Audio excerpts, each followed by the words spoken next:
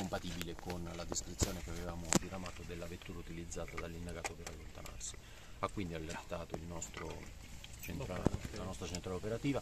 sul posto sono state inviate due pattuglie perché la macchina tra l'altro aveva i vetri oscurati quindi non si riusciva a capire se all'interno vi fosse la presenza di, di qualcuno. In realtà quando eh, gli uomini militari hanno controllato la macchina è risultata chiusa e eh, apparentemente vuota,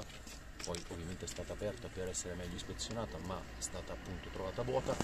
in, eh, controllando i, i, dintorni in particolar modo a circa una cinquantina di metri su quel terrapieno sotto alcuni alberi è stato trovato il corpo senza vita dell'indagato. Quindi è presto per dire a quando risale la, la morte? Assolutamente sì, adesso questa è una domanda risposta con le indagini scientifiche e gli accertamenti anatomici. Noi accanto al corpo abbiamo trovato una pistola che è compatibile con eh, quella utilizzata per l'omicidio di due giorni fa, anche in questo caso saranno gli accertamenti balistici ad avere l'ultima parola e a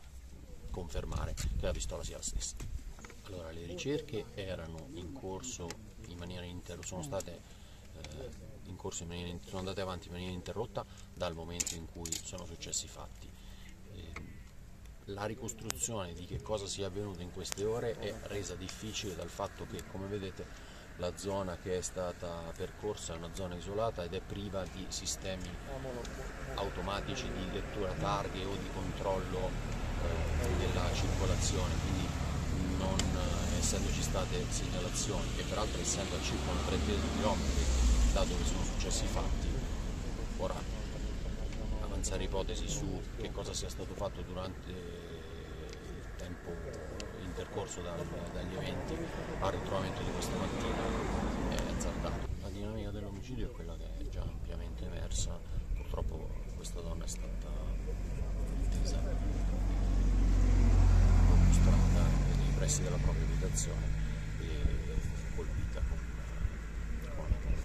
non risultavano denunce proposte dalla per episodi di violenza o di maltrattamento. Ovviamente le indagini adesso continuano anche per cercare di